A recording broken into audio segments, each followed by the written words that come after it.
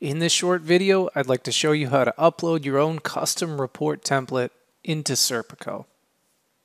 When you click on Generate Report, Serpico takes all the variables that you've set for the report, along with your current list of findings, and it creates the report. So let's just do a quick look at Generate Report.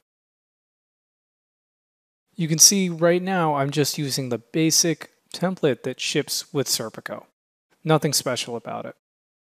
If you'd like to brand the report to make it your own, and you really should be doing that, it's really very simple to do. What you do is go over to Administration, click on List Report Templates, go down to the current template that we're using.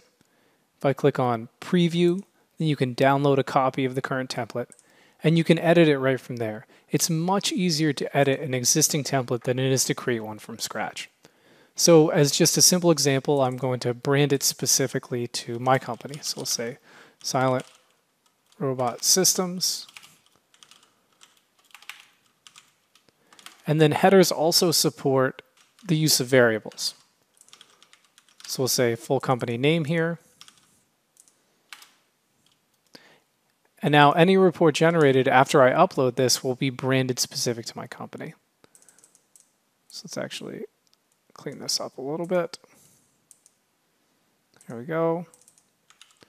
And so once you have your template created, and obviously you'd want to make more changes than this to the template, but once the template's created, go back over to administration, click on the edit function, choose the file we've just edited, so in this case generic risk scoring, click modify, and now my new custom report template is uploaded into Serpico.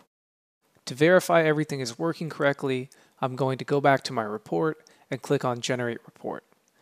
You can see that the header of my newly generated report is branded and updated.